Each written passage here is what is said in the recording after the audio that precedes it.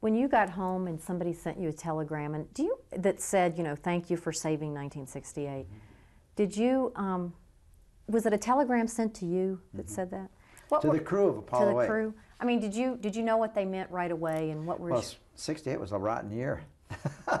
you darn right I knew what they meant, yeah. and did you did it make you proud? How did it make you feel to get that telegram?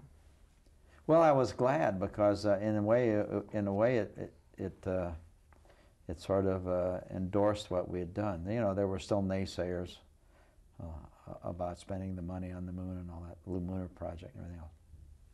The um, the the you didn't want to bring the television camera along. I didn't want to bring television camera. So that's true. You didn't Yeah. want to bring it along. I did not.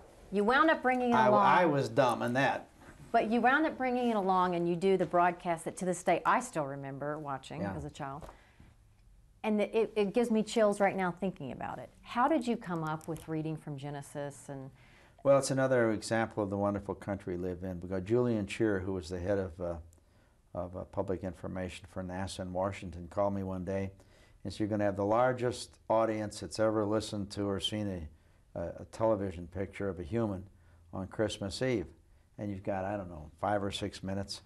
And I said, Well, that's great, Julian. What do we do? And he, he said, Do whatever is appropriate. That's the only instructions. That, then that's the exact word. Do whatever is appropriate, whatever you feel is appropriate. And be honest with you, we were so involved in the mission, and this was a peripheral one, uh, so I just uh, kind of farmed that out to a friend of mine, Si Bourgin, uh, and uh, from Washington.